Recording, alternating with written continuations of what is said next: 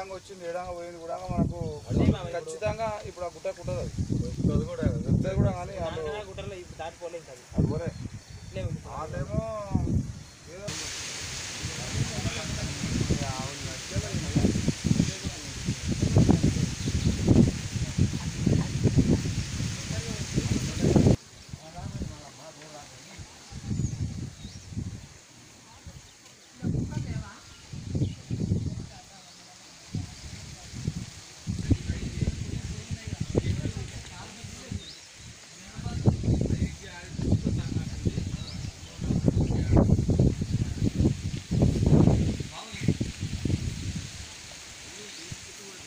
గ్రామము. నా పేరు యాదయ్య సన్నాఫ్ జంగయ్య ముచ్చర్ల జంగయ్య. పొలంలో రాత్రి పది గంటల ప్రాంతంలో చిరుత మూడు మూడు చిరుతలుగా ఆనవాళ్ళు కనిపిస్తున్నాయి. వాటి అడుగులు ఉదుగుడుగా కనిపిస్తున్నాయి. రాత్రి వర్షం పడ్డది కాబట్టి క్లియర్గా మనకు ఇండికేషన్స్ కనిపిస్తున్నాయి. ఒక ఆవును అతి దారుణంగా చంపి ఇక్కడ పక్కన ఉన్న ఆ, గుట్టలకు పారిపోయినట్టుగా కనిపిస్తున్నాయి.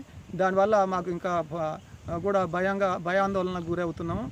ఆ, ఇక మళ్ళీ కూడా వచ్చేదాన్ని మనకు ఇది అనిపిస్తుంది. మా పశువులకు అన్నిటికీ రక్షణ లేకుంటుంది. మనుషులు కూడా ఏమైనా పొలం పనులకు రావాలంటే కూడా ఇబ్బంది అవుతుంది. మేము అక్కడ చిత్తపుల్లు ఉన్నాయి మేము రావడం లేదన్నటువంటి అట్లాంటి స్టేట్మెంట్స్ ఇస్తున్నారు. దయచేసి ప్రభుత్వం వెంటనే చర్య తీసుకొని వాటిని వేట వేటాడి హ్యాండ్ అవుట్ చేసుకోవాలని మా- మనవి చేస్తున్నాం సార్. ఓకే. జిల్లా నందివనపర్తి విలేజ్ నా పేరు అనంతం.